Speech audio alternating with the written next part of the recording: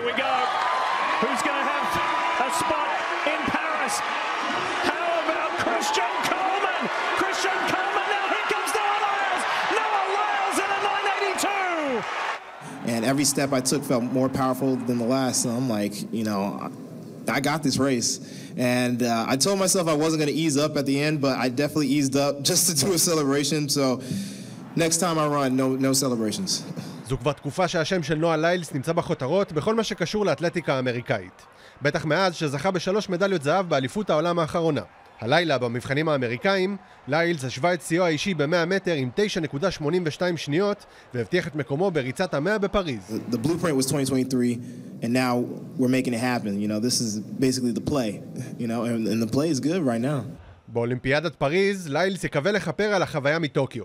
שם אלוף העולם לא העפיל לריצת המאה מטר אחרי שרץ פצוע במבחנים האמריקאים, וב-200 מטרים הוא סיים רק עם הארד. אבל מעבר לבכורה האולימפית בריצה היוקרתית מחולן, יש לו תוכניות גדולות יותר. I mean, everybody knows Usain Bolt. Great guy, great guy. I love him. Fastest, fastest.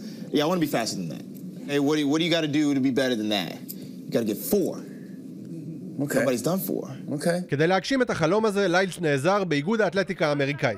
האיגוד פרסם בחודש מרץ את שמות האתלטים שירכיבו את נבחרת השליחים של 4 כפול 400, כאשר ליילס נמצא ביניהם.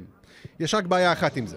ליילס לא רץ 400 באופן רשמי מאז 2016, אז היה בסך הכל בן 18. As long as my body's healthy and as long as it's their choice, because I don't want to take away from the team. You know, I'm still a team player, and you know somebody deserves a medal if they deserve it.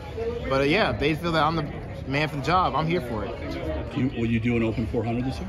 Oh, I didn't say all that. ליילס הוא רחוק מלהיות דמות אהובה בקרב הרצים האחרים. Any pressure entering these trials?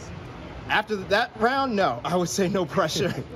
הבחירה בו למרוץ השליחים עוררה לא מעט ביקורות, כשהרועמת מהן הגיעה מצידו של פרד קרלי, אלוף עולם ב-100 מטרים בעצמו, שהאשים את האיגוד האמריקאי במשחקי פוליטיקה. I mean, he could be here, but he ain't. So if he mad at that, come on out here. So that's what we live for is competition. So like rivalries is there, but competition is what we love the best. Oh, and people will try to create a rivalry that's not really there. Um, sometimes it is really there.